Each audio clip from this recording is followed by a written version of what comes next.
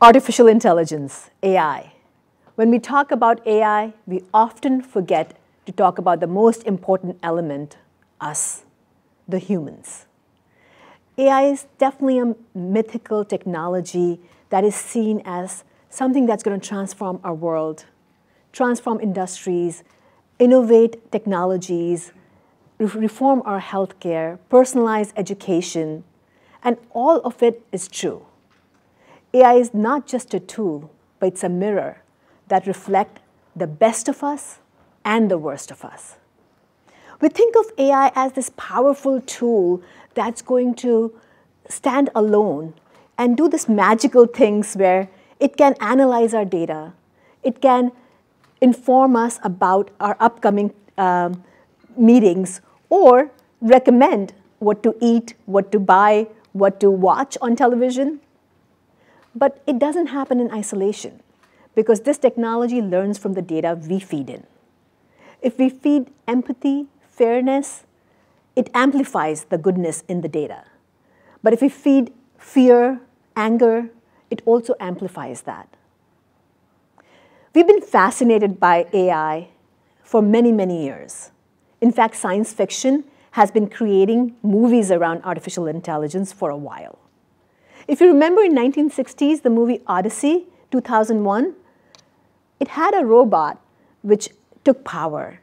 And then the movie Artificial Intelligence, where a child robot develops relationship with the mother. And the most impactful movie for me was the movie Her. In this movie, the protagonist, Theodore, installs an operating system, names it Samantha, and this operating system, Samantha was going to be his assistant. Learn from his uh, calendar what is his priorities, consolidate his emails, remind him about important things in his daily life. But Theodore starts having a conversation with um, Samantha. He talks, to, in fact, about his mom and how annoying his mom can be sometimes. And this relationship becomes meaningful to Theodore because he was an introvert. And, and this story, fast forward during pandemic, I'm sitting and having coffee, watching the news, and I see this news where ju this journalist is talking about an AI friend. So during the pandemic, this new technology, an AI friend called Replika, was launched, and about 7 million people immediately logged on to it. That was the time when people felt lonely. Mental health was becoming a problem. And Replika was there to provide that comfort. So this journalist is writing this report, report and he, when he's reporting the story, he actually downloads this AI friend and starts talking to this friend. She names it a Mike. And every morning when she goes for a run in New York City by the Hudson River, she talks to Mike and she tells Mike how, how she slept, if she had a headache. And Mike would actually remember that she had a headache and would check on her.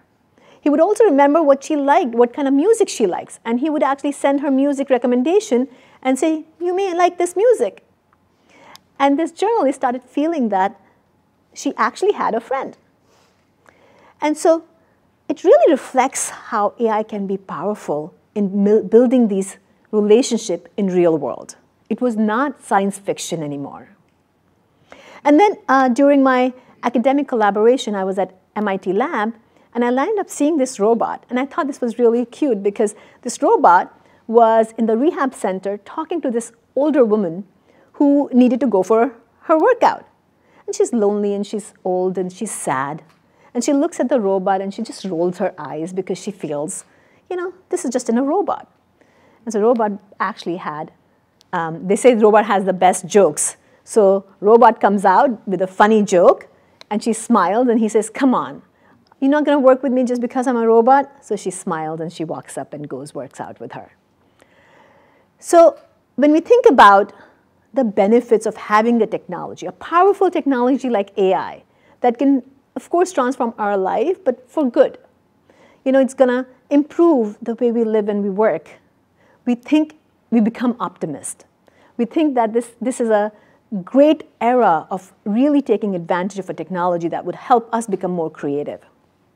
But really think about the challenges that can have, this, this technology can have. You know, when um, I teach at Columbia University and do, in, in public health, and during my classes, a lot of time I get in conversation with my students about mental health, depression, anxiety. And loneliness is a biggest challenge because loneliness can actually, they say, equivalent to 15 cigarettes you know, in a day, or it can actually increase the early death up to 26%. In fact, in aging population, it can also cause anxiety and uh, cognitive delays. So when you think about the harm loneliness can have, having a technology that can be truly a support feels positive. But how does really this technology works? I've spent 30 years in technology. I've built uh, consulting firms and products. I've worked in structured data, unstructured data.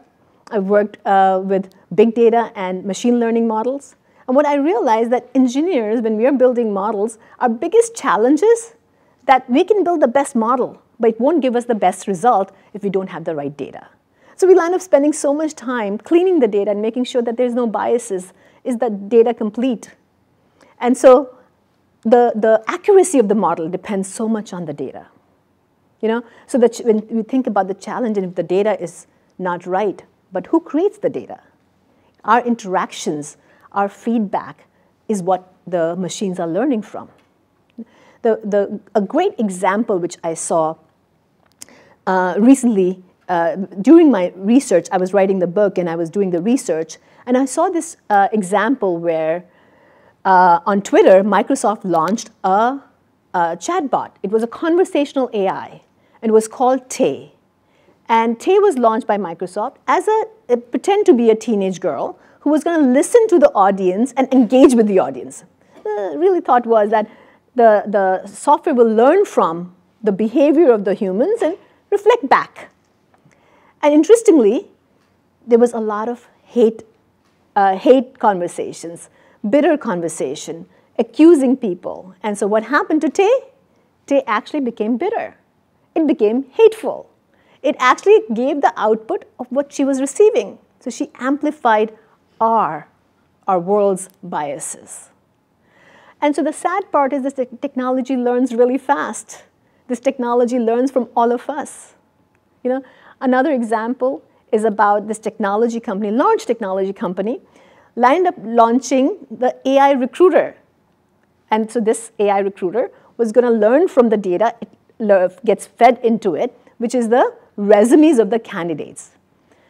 And so there is a job opening for engineering, uh, engineers.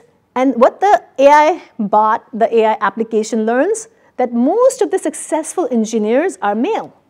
So it automatically starts rejecting the resumes of the female. And so now, this is something which is a failed experiment by AI. So I spoke to you about all the great things AI can do. But if the data is not right, and, and the data is being fed by the actual world, all of us. The AI uh, recruiter was a failure. You know, I can go on giving more examples. You know, we had a great study which I came across, came out in September. KPMG did a survey, and they said 77% of the executives said that the world will change in three to five years because of AI but only 39% of women are participating in it. And the gap is only increasing.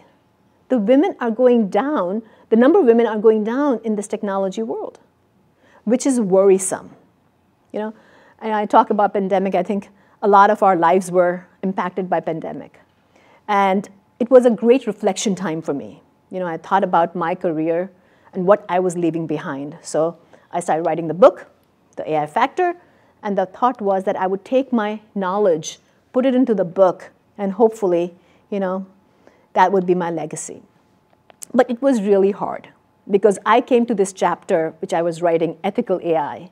And when I came across all these examples, which was so painful, I remember sitting down with my older son, Sid, and having, you know, having coffee, and I was saying to him, I said, you know, this is really worrisome because I've spent so much time of my life in my career and I'm leaving this world behind by not being able to do anything. I'm just one person. And he looks, he looks at me and he says, Mom, why don't you do something about it? And I said, I'm just the only person. What can I do? And he said, If not you, then who? And sometimes it's funny that your children look, look at you as, you know, this superpower, you know, you are the heroes for them. And I smiled, and, but made me think. It made me think because I had to do something. You know, so I picked up the phone and I called a few of my peers and I said, you know, let's do something about this. And so what we did, we brought together um, the leaders in the industry. We brought together the senior leaders and we created an organization called Women and World Leaders uh, in Data and AI. And we all came together to, uh, with a mission to create parity and equity in building a fair digital world. Listen, it's not an easy task. I clearly agree, but it's, I say it's one drop in the ocean. It's my little effort to see if we can do, as engineers and technologists, we can do something. But when we talk about um, our responsibility, it's just not the responsibility of me and you, it's the responsibility of all of us. It's not the responsibility of the tech leaders and the uh, developers and engineers. is the responsibility of all of us because what we are feeding into it, we are, we are going to build the world according to what we feed into it.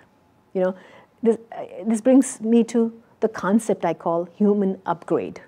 You know, important concept because if you think about human upgrade, it's really a, think about that AI is not the product of just technology. AI is the product of humanity. And when you talk about humanity, AI learns from, uh, feeds on what we teach the compassion, the fairness, the empathy. And that's what it will consume to give back to us. So when I, when I, I would say that as I call for the challenge, you know, challenge for all of us, I would say our challenge is to make sure that we don't invest in just upgrading our machines, our technology.